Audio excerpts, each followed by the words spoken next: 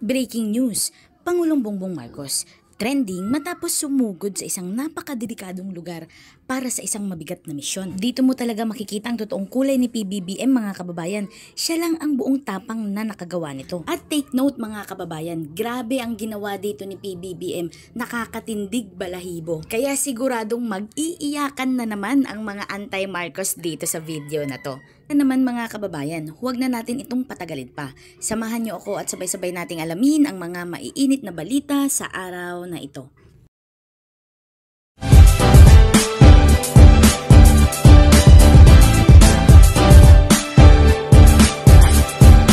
Bilang testamento ng hindi natitinag na pangako ng administrasyon ng Marcos sa pagpapatupad ng walang tunggalian sa Bangsamoro Autonomous Region, Mindanao, pinangunahan ni Pangulong Ferdinand R. Marcos Jr.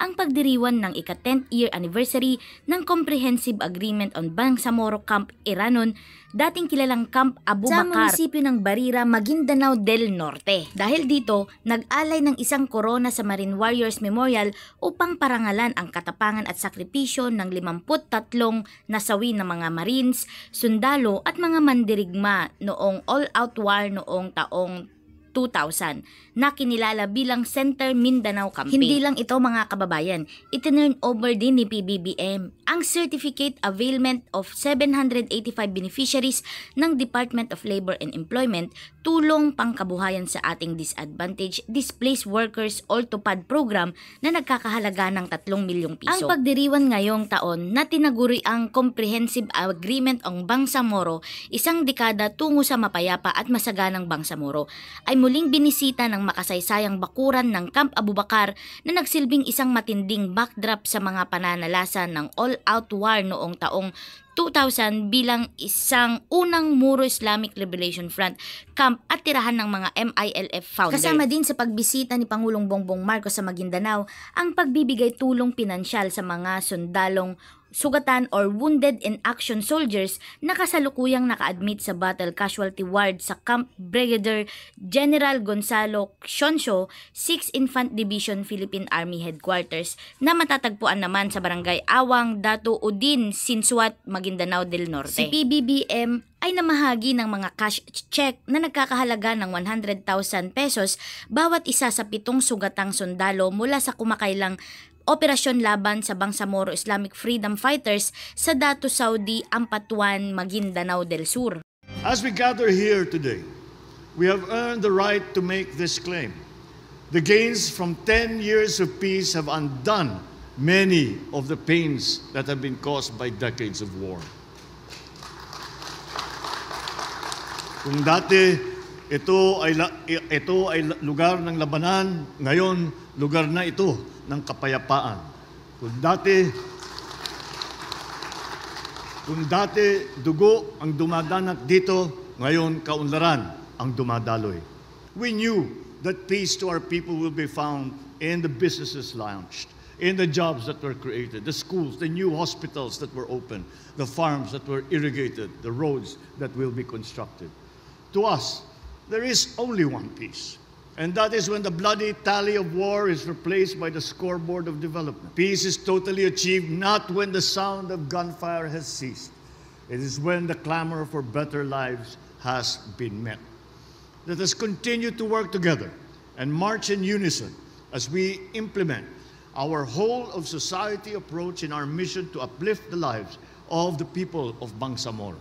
Peace is achieved by working relentlessly The crusade for peace and the cause of development should not hinge on whims nor depend on where the political winds blow.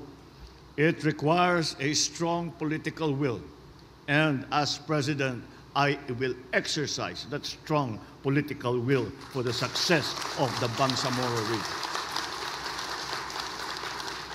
Kailangan buo ang loob natin dito kasi marami pang trabaho nakaantay sa atin. As your president, I reassure that you will have an honest, orderly, and credible conduct of the electoral process. Let this also serve as a warning to those who may plan to threaten and derail this upcoming election. Huwag nyo nang isipin yan dahil ang kakalabanin na ninyo ay ang pamahalaan. Sa ikasampung anibersaryo sa paglagda ng CAB, ipinangako natin na hindi na tayo papayag na dadanas muli ng kaharasan ang ating mga anak. This is at the core of our policies towards transformative action that brings genuine change to the grassroots, and this is the soul of the camp. Your sacrifices and hard work continue to safeguard the lives of our fellow Filipinos, have preserved the hard-won gains of the peace process. To this day, you continue to show the true essence of service and of selflessness. For that, a nation of more than 100 million provides to you a very, very heartfelt gratitude and a snappy salute. Through meaningful dialogues with stakeholders, including the Moro Islamic Liberation Front and other peace-inclined groups, we have helped foster an environment conducive to peace and prosperity in Bangsamoro. You have also provided the foundation because what you have done in preserving the peace provides the foundation for reconciliation and healing in a region that has long experienced conflict. I thus urge you to continue to work hand in hand with the communities, including the MI and the MN affiliated groups, through their leaders and through our local chief executives. You must forge partnerships based on mutual respect and understanding. We can overcome the obstacles that stand in the way of peace and progress in this way.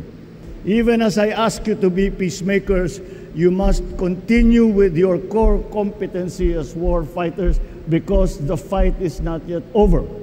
I am happy though to say that we, the enemy, is not taking the fight to us anymore. We are taking the fight to them, and that is a sure sign of success.